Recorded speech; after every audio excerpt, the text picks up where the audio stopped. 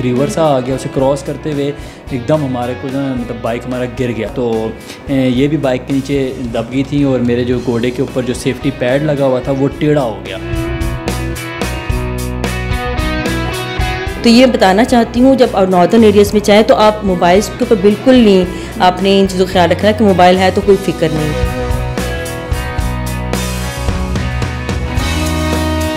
हमें घर से डांट भी पड़ती रहती है कि दफ़ा तो बताए बगैर ही निकल जाते हैं।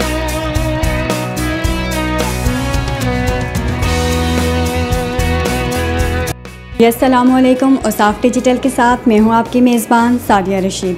आज हम आपको एक ऐसी खातून से मिलवाएँगे जिन्होंने इस्लामाबाद से गिलगित तक तेरह हज़ार फुट की बुलंदी तक दियो साइड तक मोटर बाइक पर सफ़र किया। उन्हीं की कहानी उन्हीं की ज़ुबानी सुनते हैं। अस्सलाम वालेकुम वालेकुम कैसी हैं आप? अलहमदिल्ला तो ये सारा वाक़ कैसे पेश आया? आप गई हैं इतने आ, मुश्किल रास्तों पर।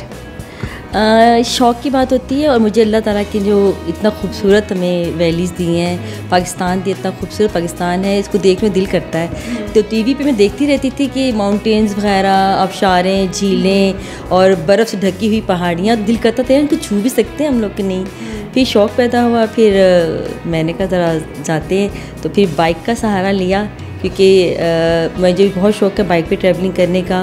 बाइक का सीखा भी है मैंने और चलाती भी हूँ। और फिर अब गिलगित क्या करदू तक गए थे हम आगे। ये सारा शौक कैसे डेवलप हुआ? शौक़ लोग कहते हैं इस बात पे लोग बड़ा कमेंट्स करते हैं कि बचपन से शौक़ था। बचपन से मुझे नेचर बहुत पसंद है। कोई हल्के सा बादल भी आ जाता है हल्की बारिश भी होती है तो मैं सोचती हूँ ये किस तरह के निज़ाम हैं अल्लाह ताला ने बनाए हुए। तो उनको मुझे आ, करने का है कि मैं जो वहाँ देखूँ नेचर देखूँ खूबसूरती देखने का मुझे शुरू से शौक़ था। तो इसी वजह से शौक़ बढ़ता गया बढ़ता गया और बढ़ते बढ़ते मैं तकरीबन तकरीबन मैंने सारा पाकिस्तान देख चुकी हूँ। तो आप कितने बंदों का ग्रुप गए थे? हम लोग छः बाइकर्स थे हम लोग गए थे। तो वैसे तो हमारे कुछ बाइकर्स पहले भी जा चुके हैं और अभी हम लोग बिल्कुल जो अभी करदू का जो हम लोगों ने स्पेल किया उसमें हम लोग सिक्स बाइकर थे हम लोग गए थे। तो एक पे दो दो थे हम लोग। इसी के साथ उन्हीं के एक साथी हमारे साथ मौजूद हैं जो उनके साथ राइडिंग पर गए थे। अस्सलाम वालेकुम वालेकुम अस्सलाम। क्या हाल है सर? जी बिल्कुल ठीक ठाक आपने तो आपने भी ऐसा इनके साथ सफ़र तय किया तो ये आप कब से ट्रैवलिंग का सिलसिला जारी है? हमारा जो ट्रैवलिंग का सिलसिला है वो गुज्त तीन सालों से जारी है लेकिन बहुत सारी चीज़ें सीखने को मिल रही हैं। अब हम जाके प्रोफेशनल तरीके से जो है ना वो टूर करते हैं और हम दोनों एक साथ बाइक पे ट्रैवल करते हैं और बहुत अच्छा मतलब लगता है नेचर को एक्सप्लोर करना चीज़ों को एक्सप्लोर करना लोगों को बताना। वैसे ये मुश्किल होता है ना कि आप इतने दुशवार गुजार रास्ते हैं रास्तों पर आप जा रहे हैं फिर आंधी तूफ़ान की परवाह किए बगैर निकल पड़े कैसे? आ, नहीं वाकई बात ठीक है। हमें घर से डांट भी पड़ती रहती है कई दफ़ा तो बताए बगैर ही निकल जाते हैं और आ, बताते भी नहीं वापस आके बताते जब खैर खैर कर पहुँच जाते हैं। तो कुछ लोगों को बताते जी गई गई वो लोग सोचते हैं शायद वैसे गई होंगी गाड़ी वगैरह में जिस तरह जाते हैं लोग गाड़ियों में जाते हैं। लेकिन हम जब वापस आए तो पता चलता है जब बाइक पे बैठी होती हूँ और मैं जा रही होती हूँ हादसा तो आपका पैदल चलते हुए लोगों का भी हो जाता है। तो इसलिए इन हादसा से घबराना नहीं चाहिए। जब आप जब डर जाते हैं तो समझे फिर आप घबरा गए तो फिर ये कोई चीज़ नहीं हुई ये है कि राइडिंग के लिए मस्ट है कि आप बेखौफ होकर निकल जाएँ। हाँ बेखौफ होकर निकलना चाहिए और दो बातों का खूस मतलब भरोसा रखना चाहिए। एक अपने जो आपके साथ कंपनी कर रहा है जो बंदा जो आपके साथ जा रहा है उसको पर बिलीव रखना चाहिए। दूसरा अल्लाह के ज़ात पर बिलीव रखना चाहिए। क्योंकि बाइक पे ग्रिप जितनी अच्छी होगी ना ब्रेक का और इस चीज़ों का क्लच का इन चीज़ों का आप रखेंगे तब आप बिल्कुल सेफ़ रहते हैं। तो जी आप बताइए कि इस्लामाबाद से गिलगित तक आपने सफ़र किया तो ये कितने किलोमीटर्स बनता है रास्ता? जी जी इस्लामाबाद से गिलगित जो है हमारा बन जाता है कोई साढ़े तीन चार सौ किलोमीटर बन जाता है। ठीक है, इसका एक प्रॉपर टाइम होता है कि आपने अपनी लोकेशन डिसाइड की भी होती है। आपने मतलब जैसा आप सोचते हैं कि यार हम चार बजे जिस भी लोकेशन पे पहुँचेंगे, वहाँ हम स्टे करेंगे। क्योंकि रात का सफ़र आपके लिए ख़तरनाक हो सकता है। तो ज़ाहिर अगर फ़ीमेल आपके साथ पार्टनर हैं तो फिर तो आपको बहुत ज़्यादा एहतियात करनी पड़ती है। लेकिन मैं बड़ा खुश होता हूँ क्योंकि ये मेरे से ज़्यादा स्ट्रॉन्ग है ट्रैवलिंग के मामले में। तो मुझे बहुत जगहों पे हौसला मिलता है इनको अपने साथ लेके चलने में। ये ख़ुद भी बाइक चलाती हैं ड्राइव करती हैं, लेकिन ज़्यादातर पहाड़ी इलाके में मैं खुद ड्राइव करता हूँ। हमने प्रॉपर एक मैप रखे हुए हैं अपने पास। हम क्या करते हैं, जब हमने ट्रैवल करना होता है तो हम जो है ना मैप को देखते हैं और किलोमीटर और घंटों का प्रॉपर हिसाब करके फिर हम निकलते हैं। तो जी, ये आप बताइएगा कि आपका जो रूट था प्रॉपर वो आपने क्या रखा था? किन किन मकाम पर आप गए थे? मैं मून की बात इतफाक़ करती हूँ कि मैप रखना बहुत ज़रूरी कुछ लोग अपने साथ मोबाइल रखते हैं, कहते हैं, जी, हम लोकेशन देख लेंगे, हम वाईफाई यूज़ कर लेंगे। लेकिन मैं बताना चाहती हूँ लोगों को कि सिर्फ़ अपने मोबाइल पे ही अपना ध्यान नहीं रखना। मोबाइल है ना, हमारे पास तो कोई बात नहीं है, हम लोकेशन खोलेंगे ऐसी ऐसी जगह है जहाँ पर मोबाइल भी नहीं चलते और ना ही आपको ऐसी जगह मिलती जहाँ पर आप अपना मोबाइल चार्ज कर लें। इसलिए आपको मैप लाजमी रखने चाहिए अपने साथ। मैप खोला, उसको देखा लोकेशन कितनी दूर क्या चीज़ है।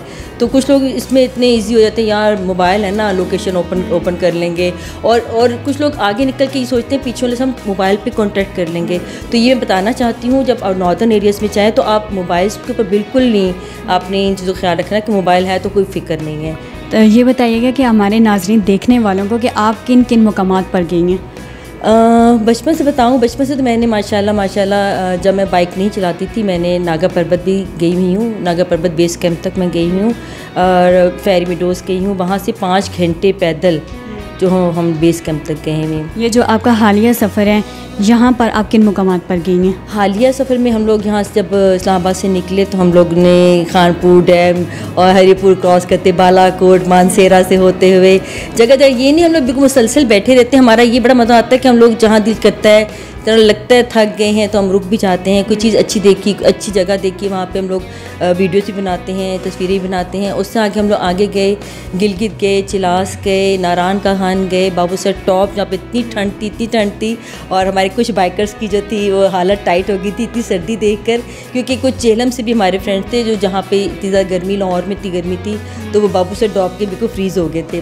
तो वहाँ के लिए मैं ये कहना चाहती हूँ, आगे मैं बता रही हूँ आपको, हम लोग गिलगित से स्कर्दू शिंगरीला वैली और शिगर वैली और ये सारे हमने जो फोर्ट वहाँ पे हैं, सारे हमने कवर किए हैं वहाँ पर।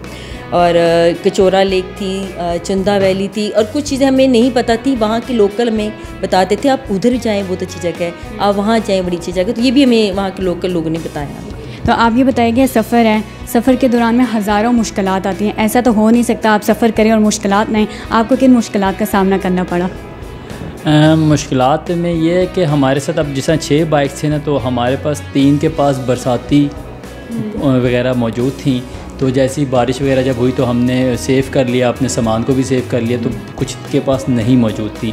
तो उनको बहुत ज़्यादा मुश्किल थी। वो बेचारे सारा सामान गीला हो गया वो खुद गीले हो गए तो उनसे बाइक भी ना चलाया जाए। तो इसलिए जब पहले हम नॉर्मली निकल जाते थे ट्रैवल करने के लिए लेकिन अब हम प्रॉपर निकलते हैं। और उसके अलावा सबसे अहम चीज़ है कि आपका ज़्यादा नॉर्दर्न एरियाज़ हैं तो आपको मेडिसन या इस तरह की चीज़ें जो होती हैं वहाँ पे अवेलेबल नहीं होती। अगर कोई ऐसी तो आपको टैबलेट्स वगैरह गर्म पट्टी होगी ज़ख़म के लिए पट्टी होगी ये सारी चीज़ें साथ लेके जाना पड़ती हैं। इसके बारे में आप बताइएगा कि अचानक किसी साथी की तबीयत ख़राब हो जाती है तो क्या कोई ऐसी सर्विस वहाँ पर मौजूद है कि फ़ौरी तौर पर उसे हॉस्पिटल लेके जाया जा सके? क्योंकि वहाँ के रास्ते बहुत मुश्किल है।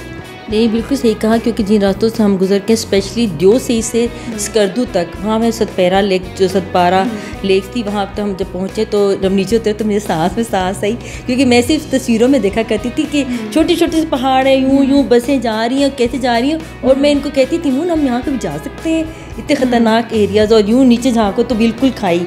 और हर पत्थर ऐसा लगता था ऐसे अभी हवा चलेगी, नीचे गिर जाएगा। तो ऐसे में इंजरीज भी हो सकती हैं। तो सबसे पहले जो टूल किट्स हैं, हमारी सेफ्टी किट्स हैं, हमारी कोने हुए किट्स हैं, ये होनी चाहिए हेलमेट अच्छे से अच्छा हेलमेट होना चाहिए ताकि अल्लाह ना करे, हम थोड़े से गिरे भी जगह पर, लेकिन शुक्र है वो हमारे घुटने वगैरह बच के और उसी वजह से, वरना शायद हमारे घुटनों में चोट लग सकती थी। ऐसी जगह पर तो हमें अपने साथ फ़र्स्ट एड किट रखनी चाहिए। मेडिसिन में मैं समझती हूँ कि सिर्फ़ आपको पेन किलर्स वगैरह हमारे पास होनी चाहिए स्प्रेज अच्छी होनी चाहिए। बाकी खाने पीने के मामले में हमें उतना ही, जब सफ़र करते हैं तो ऐसे लोगों को इतने हैवी खाने नहीं खाने चाहिए। कि बहुत ज़्यादा आप खाएँ, लोग हल्का फुल्का फ्रूट्स लेने चाहिए हल्की फुल्की चीज़ खाएँ प्रॉपर पूरा सुबह दोपहर शाम नाश्ता नहीं होना चाहिए था। तो आप ये बताइएगा कि जैसे दियो साई तक आपने सफ़र किया तो दियो नाम से लगता है कि वहाँ पर वो काफ़ी मतलब कि जंगली हयात होंगे। तो उनसे तो डर लगता होगा कि कैसे कोई एकदम आपने कैंपिंग की हुई है कैंप के अंदर ही कोई दियो नामी कोई ऐसा जंगली हयात आ जाए तो।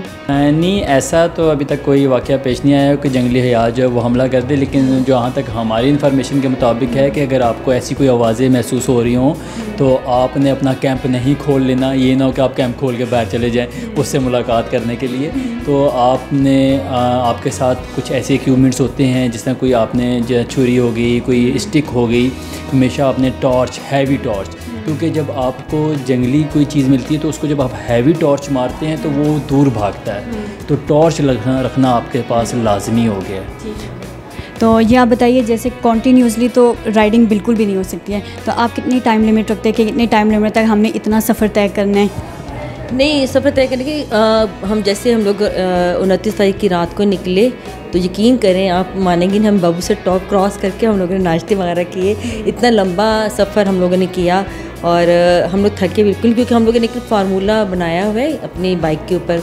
तो एक टायर है, टायर में हम हवा भर लेते हैं तो वो वो रख के उसके ऊपर हम लोग बैठते हैं। तो वो जब जंप वगैरह आते हैं तो हमारी बॉडी को रिलैक्स रखता है वो। तो ये जो लोग भी लॉन्ग ड्राइव करें, उनको चाहिए कि एक वो फार्मूला देखें। वरना मैंने पहले कुमराट जब की थी बाइक पे, तब मैं काफ़ी थक गई थी। तो इस दफ़ा हम लोगों को बिल्कुल थकावट फील नहीं हुई और एक मौसम इतना अच्छा था। और सबसे पहले ये भी मैं आप लोगों को बताना चाहूँगी, जब भी आप घर से पहले कि वेदर ज़रूर चेक करें। वेदर का होना क्योंकि हमें पता चल गया था बारिशें नहीं सिर्फ़ एक दिन हमें बारिश मिली जब हम लोग ट्रैवल जा रहे थे घर से निकले। त्रिपुर में हमें बहुत ज़्यादा हैवी हमें मिली बारिश और हम लोग रुक गए थे वहाँ पर और सोचे तब आगे क्या करेंगे। लेकिन जैसे हमने एप्टाबाद वगैरह क्रॉस किया हमारा मौसम काफ़ी अच्छा हो गया। और अफसोस ये कि जब हम वापस आ गए और तो पीछे से हमें हादसा सुनने को मिले। दो से में बहुत हादसा हुए काफ़ी गाड़ियाँ गिरी क्योंकि मैं नहीं समझती कि बारिश के दिनों में उस जगह पर ट्रैवलिंग होनी चाहिए स्पेशली बाइकर्स ऐसा पॉइंट एक जगह आया था हमारे पास जब हम देव साइड से स्कर्दू के लिए मूव कर रहे थे हमारे एक मेंबर के गलत फैसले की वजह से हमें वो रास्ता तय करना पड़ा और दस बंदों को तय करना पड़ा लेकिन बहुत मुश्किल था। तो उस में ऐसे मोड़ थे कि जैसे मोटरसाइकिल जो है ना बिल्कुल बस अभी किसी टाइम भी स्लिप होकर नीचे गिर सकता है। तो हमेशा आपने पूरी जब आपका ग्रुप एक जाता है तो उसमें एक लीड कर रहा होता है, उसकी सुननी चाहिए, क्योंकि उसका एक तजर्बा होता है। कभी भी इस तरह नहीं होना चाहिए कि कोई नॉन बंदा कह दे कि नहीं, मैंने यहाँ से नहीं जाना, वहाँ से जाना है। वो सब के लिए मुश्किल पैदा कर देता है। हाँ एक जगह हमारे पास आया था कि एक पानी था, हम उसको क्रॉस कर रहे थे ना, एक रिवर सा आ गया, उसे क्रॉस करते हुए एकदम हमारे को ना मतलब बाइक हमारा गिर गया। जब बाइक हमारा गिरा तो ये भी बाइक के नीचे दब गई थी और मेरे जो घोड़े के ऊपर जो सेफ्टी पैड लगा हुआ था, वो टेढ़ा हो गया। तो इस तरह का ये इस बारी हमारे साथ दो ट्रेजिडीज़ हुई हैं हमारे साथ। तो वैसे तो शुक्र अलहमदिल्ला कि अभी तक हम काफ़ी सेफ़ ट्रैवलिंग करते आए हैं। तो जी नाजरीन, जैसे आपने सेफ्टी मैयर्स देखे ना सेफ़ आप कहीं भी जाएँ ट्रैवलिंग पर सेफ्टी मैयर्स आप ज़रूर उनको अप्लाई करें और अपने साथ ऐसी सेफ्टी किट्स ज़रूर रखें। तो आप ये बताएँ कि जैसे आपने ये सारा सफ़र तय किया तो उस दौरान जो एक्सपेंसेस थे, वो काफ़ी हाई हैं? क्योंकि हर बंदा चाहता है ना, जैसे इतनी बहादुर खातून आप वहाँ पर गई हैं पीछे बच्चों की टेंशन होती है, बच्चे वैसे अगर मम्मा थोड़ी टाइम के लिए बाहर चली जाएँ, बच्चों की कॉल्स पे कॉल्स आती हैं, नहीं मम्मा किधर है मम्मा किधर है, फिर बच्चों की कैसे मैनेजमेंट किया आपने? हाँ बिल्कुल सही बात की कि जो फैमिलीज़ वाले जो लोग होते हैं, मैं बताना चाहूँगी ये कि कि घर वालों को पता होता है कि ये बंदी किस टाइप की है।